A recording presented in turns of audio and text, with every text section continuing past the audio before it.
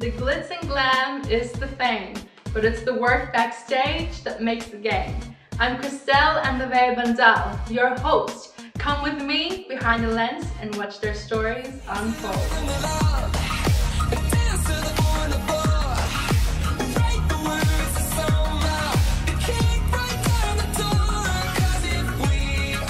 Welcome back to Behind the Lens. On our previous episode with Mary Salubre, we talked about charity and advocacies in the pageant industry and how it's very important for girls to take their experience, whether they win or they don't, use it as a learning experience to continue building yourself up and to continue being a voice for the voiceless and continue to work on your passions. So we'll be welcoming her back today to Behind Lens and talk about her future projects and her future aspirations. Please welcome Mary Salubre. Hi, how are you again? I'm good. How are you? Not too bad. So, just looking back at everything that you've done, it sounds like it's been a very eventful journey Yes. with Miss Australasia, especially. You've built two schools. Yes. You've built the brand and got so many girls to stand up for the advocacy of Miss Australasia and help them gain a voice. Yes. How does it feel just looking back at how the journey has? Uh, looking at um, back in five years ago, I was like, oh my god. Sometimes I can't believe it. How did I do it? But uh, it's always gonna have a team. And with Australasia, we have a very small team, but very loyal and solid team. So that's what I'm counting on. So I'm hoping that we will flourish still and um, expand bigger and better in the future. hmm Yeah, and kind of with that, with your team, how many do you have in your team? Uh, so far, I think I would say I have probably four so far. Wow. Yeah, only four of us. Yeah, so how do you kind of keep them intact? Um, that's what I said. They're very, very loyal Yeah. and uh, very um, also strong. Mm-hmm. They um, we uh, dedicate each and every one of us to their own task, that Mm-hmm. whatever they're good at. So uh, yeah, I think I believe that a small team is better than a bigger team that you can't even um, you know you don't know what's happening. So a very small team but hands-on. Mm-hmm. Yeah. Yeah.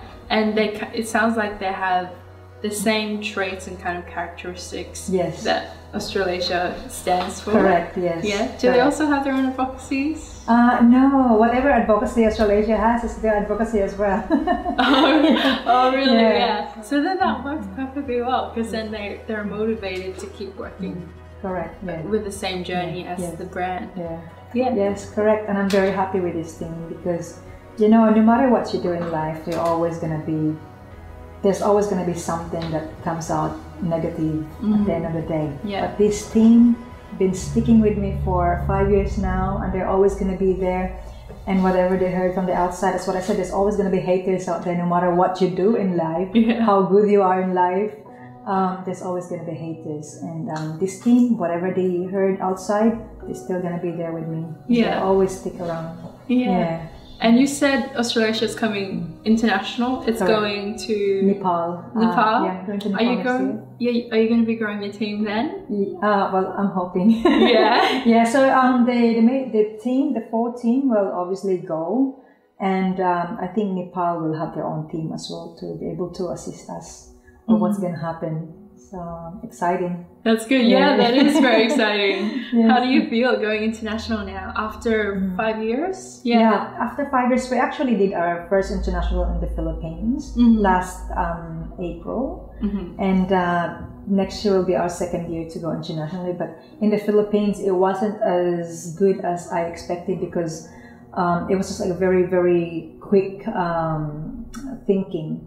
Um, what I've said. I'm not there, so I wasn't really hands on. I left it in the hands of some other people. So the result is not like um, what I wanted. But um, that's what I've said from the beginning that we can learn from what we experience and use it as our leverage to better ourselves and tighten up whatever areas that you need to be looked after. Mhm. Yeah. Yeah. And you've been in the pageant industry for a long time now. You were a Yes. candidate at 16. Yes. You were a candidate again at 40. yes. and you're a national director now. And you're also the founder of the Pageant Awards. Yes, Yes. the Golden Sash Awards and the International Beauty Pageant Awards. That's Yeah. something very important as well. Yeah, and that is is that new? That's very new. Actually, I had this this uh, vision for the past three years at least. I believe that there's a lot of beauty queens out there that are not being recognized in the industry. Mm. There's a lot of queens that has done a lot of things in the community that are just been neglected. And um, so I thought of myself, I'm watching this Oscar award, right? Best actor, best supporting actor, best picture, whatever you call it. So I thought to myself, why can't I do this in a beauty queen way? Because there's a lot of beauty queens out there who did a lot of things for the community. It's not just doing something, but you are encouraging others to do the same thing and giving back to the community. So I want to acknowledge these beauty queens, beauty queens and kings. So that's how this golden sash end up. And um, next year we're going to do the international, which is bigger because we want the whole world to know that there is something for each country to recognize your queens. Mhm. Um, that's what I said. The concept is just like the Oscar Award Academy, and this is in the big Queens Academy Award. So um, I'm hoping that it will be successful. Uh, if you've seen the AGSA last August 31st, it was a successful event because Yeah. I, I never thought that first time like it was full. So people just keep coming it was first time so i was actually like overwhelmed with the result which is there, there is a there is a good market for the golden sash A good potential. yeah, yes Yeah, that's good. Yeah. It's very exciting, and you're already planning your next one. correct yes yes Is it going to be held in Australia, Australia. again? Yes, it's uh, to be held in Australia. We actually have the Mis- uh, we have the Philippines already. Um, we have Malaysia and Sabah. We have Bulgaria. Um, who else do we have? I think we have. I think we're gonna have Middle East. We have New Zealand. But each of these countries will will send ten of their delegates, meaning to say, if they are the the beauty queen of the year in New Zealand, she will become automatically become the ambassador of New Zealand and to be crowned in Australia. So hmm. imagine if there's ten in every country.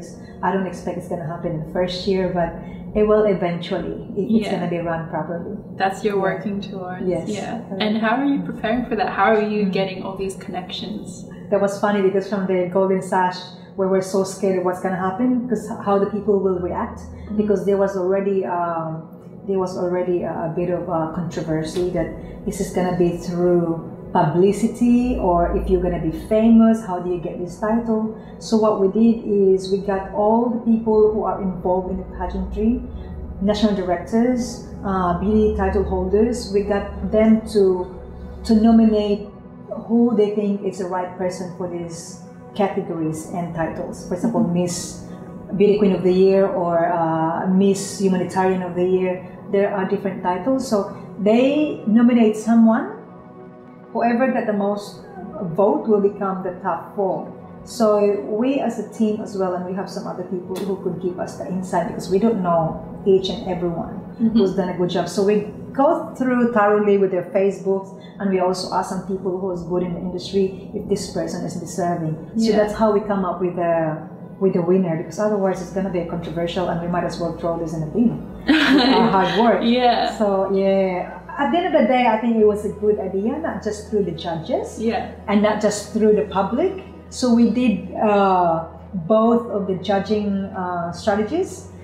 That's what I've said because otherwise controversial will be hammered out there. There's going to be a lot of like Facebook enemies and oh it wasn't run properly. I don't know how they because from the very beginning, even before I started it, I was I already had a uh, controversial with some other people. Mhm. Yeah. Yeah.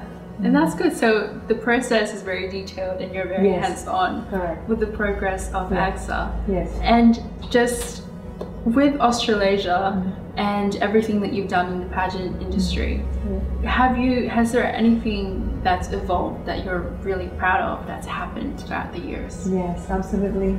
From the Australasia itself, I, I grow as a, a better person. Mm-hmm. I advocate for something that I wasn't really aware of, that I got the capability to be the voice. Mm-hmm. Um, I, I mean, don't get me wrong, when I was 18, I also helped my family um, and um, cousins and aunties and uncles. But through the pageantry itself, it's a different feelings, it's a different story. So from Australasia, building schools and helping orphanage and and uh, speaking for the animal cruelties and those voiceless to be their voice, it's something that I I managed to be a be- better person, I think, and from there it encouraged me to be someone who noticed that there are a lot of beauty queens out there that needs to be um, acknowledged through merits and maybe their achievements, their hard works through communities, and that's how AGSA is um, evolving now. And uh, from there, hopefully that you know I will have more projects in the future with substance, obviously, and um, another project that we're looking forward to is um, because I also do a bit of a, um, a legal clerk for for some solicitors. So because of my connections and Facebook, you know, social media is good.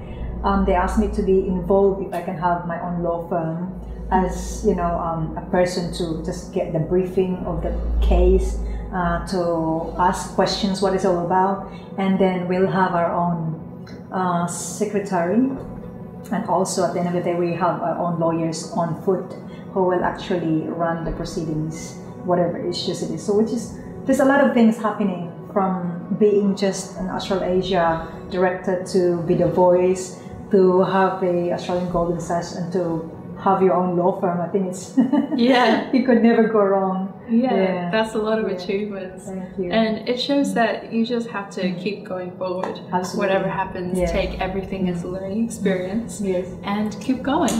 yes. Yeah. There's not enough time of the day, isn't it? The time is someone is just gonna we're gonna chase the time because with whatever we do, it's not enough time. So Yeah. so, looking at the pageant industry over the few years, do you Yeah. think anything about it has changed? uh, Has it from, gone- from, from the five years in my own experience? Mm-hmm. I think it, there's a big, massive changes. Mhm. There's a lot of pageantry that just came out for me. It's like mushrooms; it's popping everywhere. And for me, there are a lot of pageantries that doesn't have substance at all. Mm. Meaning to say, if you want to create a pageant, just create it with a purpose. Meaning to say, ad- advocate for something what you believe. Yeah. Um, I think those are the things that the people should look at if, if they are going to have their pageantry. Make sure that there is a purpose for it, advocacy. Make sure that you will run with that advocacy throughout the whole year. If you are the beauty queen title holder, make sure that you do the right thing. Make sure that you wear that crown title with, with pride, with integrity, and you know a right manner to be able to be a role model out there because there's just so many around that you don't know what is going on and they use the words charities and I don't know what to believe anymore. So um, I'm sure that there's a lot of people out there who are trying to do the right thing, which is, you know, uh, we might be scrutinized one day that um, each pageantries will be looked at, say what's happening, and will be questioned. So I think we should try to bring an awareness to stop this and to make sure that if you are doing this, make sure that you do the right thing. Mhm. Yeah. Yeah, because you have a lot of responsibility Yes. as a director or the owner of a pageant. Correct. You're yeah. taking care of a lot of girls, and you're also taking care of an issue that's probably sensitive to a lot of people in the public. Correct. Yes. Yeah. Yes. And as a national director of the future, Mm. do you think charity should still be a very big percentage of the final score of the winner? I don't think that should be um, a final score to be able to put that component towards the main criteria. I would believe that a charity itself should have its own title, which is that's justified. But to put the component, a big chunk of component, to be able to put that into the main criteria for the main title, I don't think it's right. Um, it's just because that charity is what is really a charity is what I said it's based on the, how much money you raise. Mm-hmm. Um, I don't think it's fair for others that who has I mean put it this way, even though if you're poor but you got a good heart and you advocate for something you believe whether you're good in social media that you still could be a role model for others, they're still advocating for something. It could be a mental illness, it could be something to do with uh, domestic violence, it could be an, uh, uh, against animal cruelty. But if you have money and then you just want to get that title, it's basically buying that title, I don't think it's wrong. So um, I think they shouldn't mix the two titles, the main titles and the charity queen.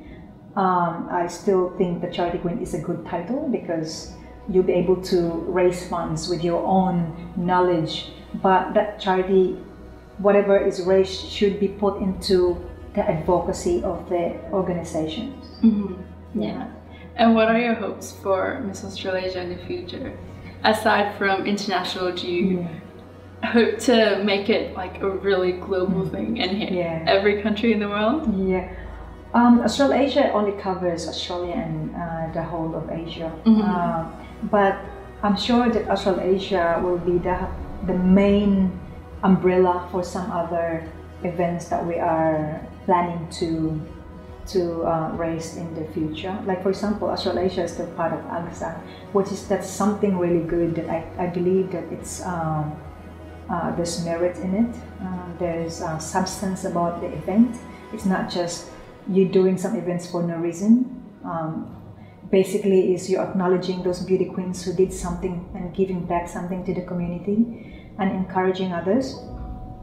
And um, we are planning as well to um, have our own new event, something uh, Miss Ultimate Universe. Mm. So um, that's something that we've been planning to do it for the past four years, mm. but because the name Ultimate Universe, we just want to make sure that we just don't want to launch it like somewhere in the RSL club. We want yeah. we want to launch it somewhere where there's prestige, there's substance, and we make sure that there's main criteria of the girls that who is going to compete. Yeah, uh, it's very high criteria. Um, we want someone who's five six up. Um, advocacy will be also uh, be part of it for sure. Um, there's not going to be money involved like um, you have to raise so much money to be able to mm-hmm. um, we want to basically the blueprint of the miss universe if we can be better because the ultimate that's why at the moment we're struggling to launch we're waiting for fundings yes. and if we do launch it we want to make sure that uh, we will uh, give justice to it yeah. yeah and what kind of advocacies would that pageant system stand for I think whatever is the advocacy of the Australasia will still be in the same uh, line that's mm-hmm. what I've said. Australasia is the umbrella of the events that we are still planning for the future events. Mm-hmm. So Australasia still comes the uh, the top role, and that's what I said. That's my baby from the very beginning. Point. Yeah, it's uh, still there. Yeah, mm-hmm. and it's interesting. I said money wasn't going to be involved, mm. so the candidates aren't going to be required to raise money for a specific mm. charity. Well, they can raise money themselves, but they don't need to give it to the organization itself. They can raise money towards the advocacy. So meaning to say they could be um, raising for an orphanage. Mm-hmm. So even if they have their own events, they can directly send that to the advocacy or to their orphanage that whoever they choose with. So it doesn't mean that it, it goes to us. It's it's up to them if they want to give us the money. As what I said, we're always transparent with whatever we, we raise. Mm-hmm. We send it to whoever is the the organization and we always post on Facebook that this is the progress. Mm-hmm. Yeah. yeah. And what is the purpose or kind of a vision behind that decision to kind of cut the charity part out of that pageant that you're planning to yeah. create? The, the charity is still there for sure. Um, yeah. Uh, I think my plan, um, the biggest plan for this Miss Ultimate Universe is uh, there's a lot of girls that that's, just doesn't do the ad- advocacy I think what I'm, I'm planning to do is when, once this girl wins the title as the Miss Ultimate Universe, if for example France wins, I think Miss Ultimate Universe will plan to build even um, a kindergarten or orphanage into that country and put that stamp there that this is made from Miss Ultimate Universe. That's why I said it's there's a lot of things that we need to be better than the others mm-hmm. uh, to stand out and um, it comes in the line with Australasia's advocacy still. So we're still gonna keep going with the education and ultimate universe. We just wanna go internationally, like yeah, universe. yeah, that's very big. Yeah, yeah. You've got some big plans there, and you've yeah. been putting it and drafting and planning for the past four years. Yeah, I know. That's what I said. We just don't want to launch it in the RSL club. We want to launch it somewhere like where it's iconic, like Opera House, or what, what we actually plan is Star City. Oh, uh, wow. Yeah, so uh, we want the girls to be happy. Uh, we want to make sure that there's a good price, like just like the Miss Universe, that they will get their their wage because they are the ambassador for you. Oh, we want to make sure that they'll get their wage monthly. It's not given to them in one hit, but they'll be paid monthly for being the ambassador. So uh, we want to make sure that the girls, whoever wins, will do their job properly. Yeah. wow. Yeah. So they're going to be treated very well. Yes. And it, mm. it, from everything that you've said and everything that you've been doing, it sounds Yeah. like you've been a very good role model, Oh, not just to these girls, but also to directors. So, do you think you're also a voice for the for the directors who are kind of trying to mm. start? Uh, yes, I believe that I am the voice for them and to some other people, Mm-hmm. but the reaction is we don't know if it's a good voice or a bad voice. Mm-hmm. But it's up to them. But what matters is whatever you believe that you think you're right. That's all that matters because I'm sure there's going to be haters everywhere. Whatever you do in life, there's always going to be haters, and I don't care about what they think of me. That Mhm. I'm very vocal with what I think, you know, what I believe and um, to speak up that some of the directors they don't do this as their passion. It's they run it as a business and sometimes it's very um, you know it, it comes to an exploitation sometimes to these girls that doesn't know what's going on. And especially if you are a beginner you don't know what's happening um, you'll be exploited for sure. So i'm hoping that um, you must do your research. Don't just jump into anything if you don't know um, seek for an advice, uh, maybe a friend who has experience, uh, a person that has experience that we want to ask and query. Just ask. Don't be shy. Just ask something if you want to ask for anything. Yeah. Mm-hmm. And with the pageant industry, it's constantly changing. What do you hope to see in the future? I'm hoping that uh, people will will. I'm just keep hammering about the advocacy. Yeah. I think uh, the advocacy is the number one thing. Um, I'm hoping that the girls would would think that uh, this is the main criteria for them. Um, even though you finished your title, just keep continue and keep going and make sure that you give the right um, image to others, you impact it to others, uh, being a role model.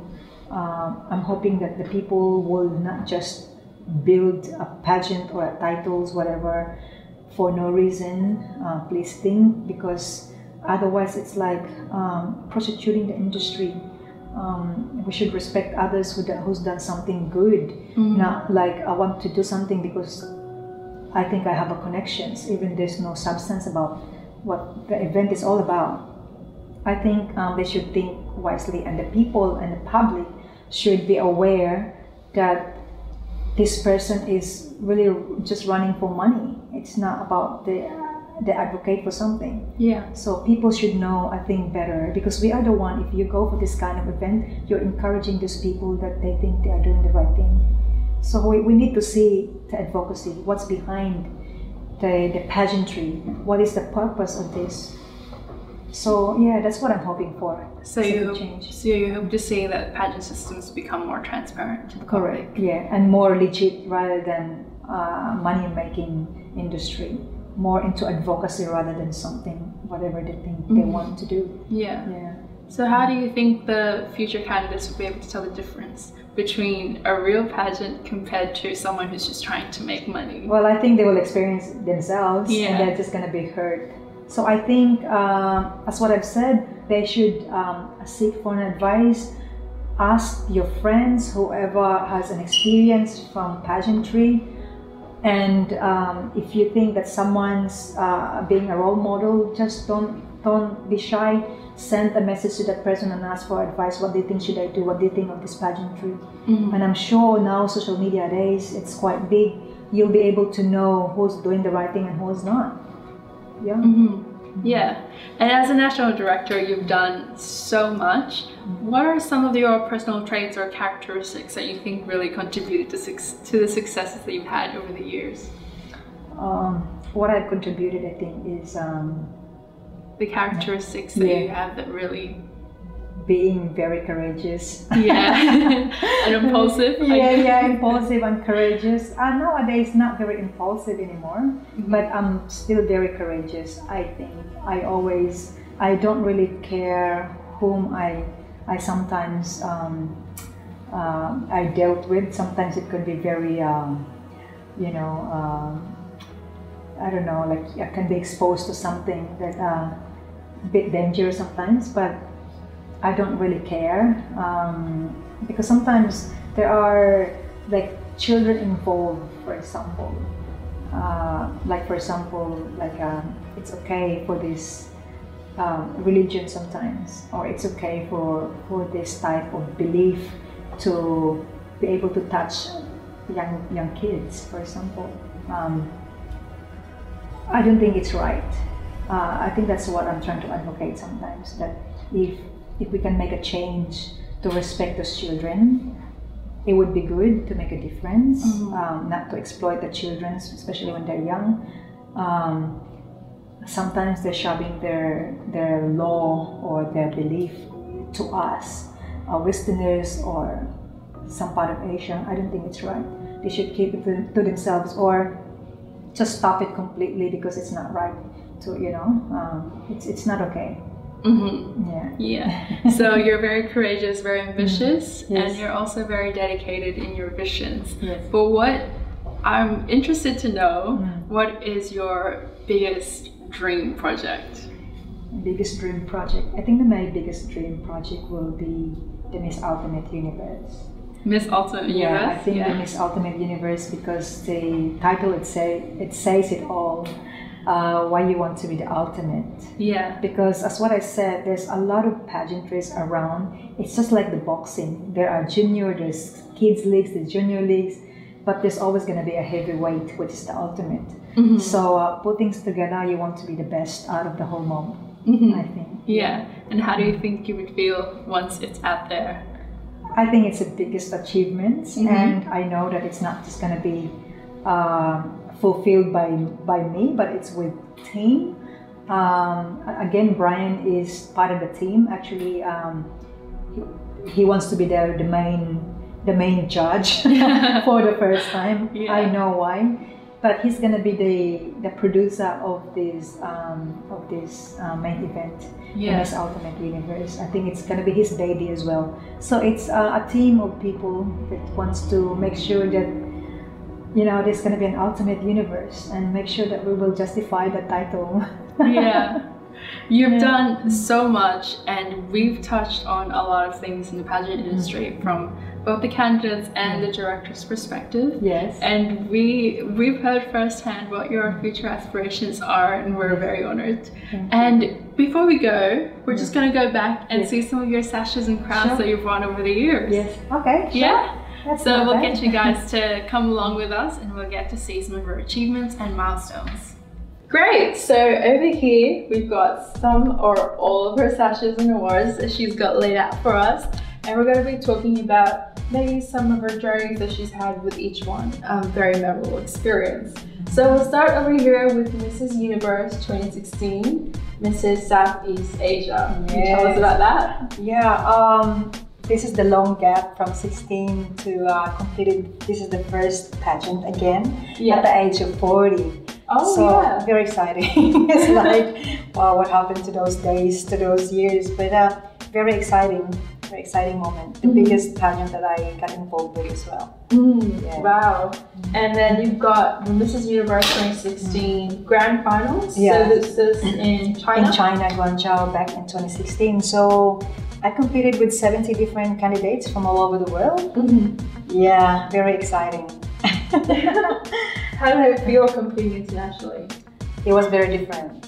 Um, knowing that we didn't have experience really from, from the province straight away to Guangzhou. Mm-hmm. So I didn't know what to do, but I was keeping my cool. And uh, that's what I said. They think that was I was a lawyer, that everybody could just run and seek my advice Yeah. um, with me. But I said, uh, yeah, I'm trying just to compete, not to be a lawyer.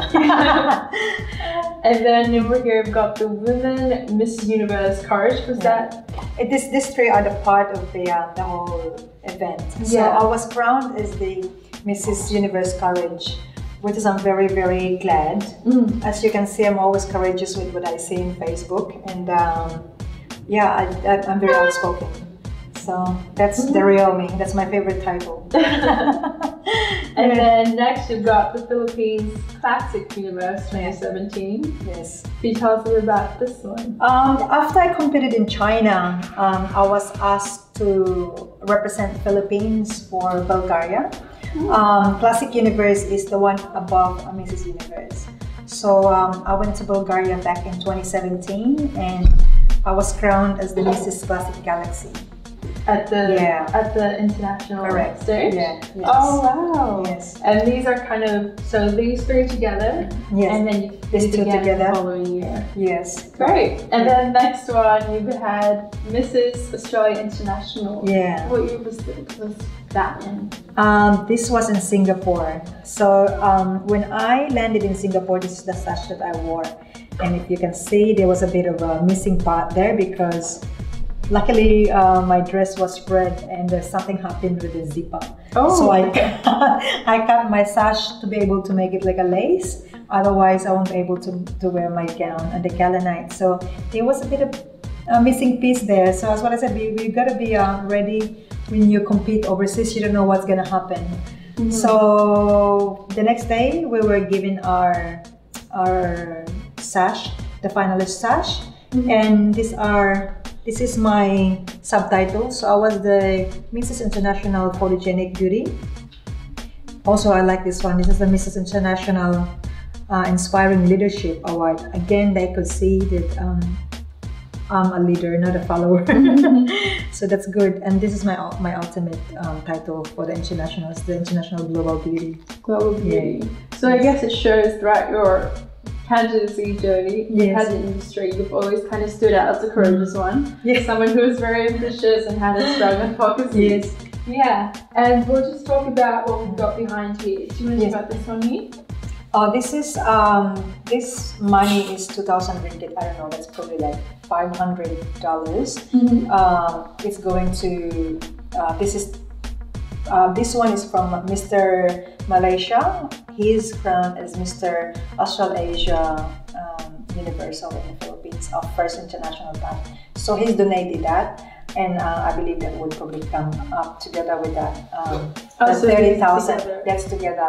So this thirty thousand ringgit, I would say that's probably ten thousand dollars, which is it's not in cash, but for this, the Philippine students, we need to say that we're looking for someone in the Philippines who can't afford, like the family are um, quite unfortunate. So this this lucky student will go to Malaysia for three years and study, and this money will be absorbed towards the uh, the school fees. And Mr. Malaysia is kind enough to uh, feed the, uh, the students and make sure that he has an accommodation for the whole three years. Oh, wow. That's what it's all about. So we're looking for that child at the moment. Oh, that's so cool. And that's still, Yeah. you're still ongoing with your Correct. applications and Yeah, we still haven't decided which one. We will decide, I would say, early next year. Mhm. And then this will also go towards the person who gets the scholarship. Yeah, it's like a scholarship. Yes. That's cool. So how did how did you come about that again? Was that Mr. Australasia Universal. So we had our first international pageant as the Australasia in Manila, uh, in Cebu. Mhm. So the winner, which is Mr. Malaysia, he donated this money because he is the ambassador of the college itself. Oh, okay. So he, he works in the government. That's good. Yeah. That's very kind of him. Yes, And then- correct. Over here, you've got three. Yeah. Do you want to talk about these ones? Uh, this is just um, the schools that we, we build in the Philippines. We get the recognitions from the Department of Education. Mhm. Actually, the, I have my one there everywhere. It's in the house. Yeah. This is with my, my Chantel Forget is my eldest daughter, and Michael is my youngest son. These two also had an input into the project because Chantel she does painting, and we raise funds. Like if we have an auction, that goes towards the project of building. So the Oh. same with uh, Michael uh, on his baby shower. but he didn't get any present, but instead we asked for donations towards the building of the school. So they've done their advocacy before they were born. yeah, that's very good. you. And then over here, you've got yeah. the best children's pageant of the year. yeah. That's the Australian Golden Sash Award. So we've been nominated as one of the children's pageant of the year. So uh, yeah, so we're in a top four. Mm-hmm. nominated by Nominated, the public. yes. That's so good. Thank you. So you've had a very eventful journey in the pageant industry and you're still ongoing. Yes. And it's really good to see that you're still being a voice Mm. for your advocacies for domestic violence. yeah. Children's education is going very well. You're, you. you're going to be kind of Yeah. sponsoring someone Yes. Yeah. to get their education international in Yes. two Yes. and you've got all these experiences you've had and you're able to put yourself you're a director who's able to relate to the candidate themselves Yes. and kind of use your experience to make sure that they're treated fairly and very responsibly Yes. That's the whole thing. yeah so with all these experiences that you've had do you sometimes show them to the candidates in Miss Australasia and Mrs. Universe? no, actually, that- that's funny because I don't anymore. I don't even wear these sashes anymore yeah. because um, no crowns, no sash. They're asking me, well, what happened to your titles? Uh, it's all in my mind. Um, I think I believe that I'm just gonna guide them in the right path and um, you know uh, make sure that they are doing it in the right manner. So Mhm. yeah. Yeah. And I don't think you need a crown or a sash to be an event. I think you're a woman of substance Oh, and people you. kind of recognize Yeah. you for that. Thank you. So thank you so much for having us here and being a guest on Behind the Lens. And from Mary Salubre, we learned so much being a candidate and director, and even as a parent or a friend supporting these girls or guys who are competing at these pageant systems. It can get very competitive and it can have a major effect, both positive and negative, on somebody. And it really depends on the support system and it depends on their mindset. So it's very important for them to be to be prepared before they get into the competition because whatever happens then and afterwards is always going to be up to them. And this is another episode of Behind the Lens. We'll see you guys next time. She was born and raised in the Philippines. She lived a very eventful life, coming from a hard, hard and challenging lifestyle in a provincial area in the Philippines. She found her way to Australia, a developed country, where she was able to find herself opportunities that helped her become the successful woman that she is today. She was a candidate in various pageant systems, locally, nationally, and internationally. She was able to use those experiences to become a good role model to directors, to national directors and owners of pageants. Because as a national director of a pageant and an owner, you have the responsibility to make sure that you take care of your candidates with genuine and passion. Because you have a purpose, you are a voice for a specific issue, and you need to make sure that everything you do is transparent, that everyone is involved, so that it can continue to grow and become the success that you want it to be. Thank you so much for watching Behind the Lens. We'll see you guys next time. and glam is the fame, but it's the work backstage that makes the game. I'm Crystel and Levee Bandal, your host from Behind the Lens, and this is Miss Runway Supermodel Australia.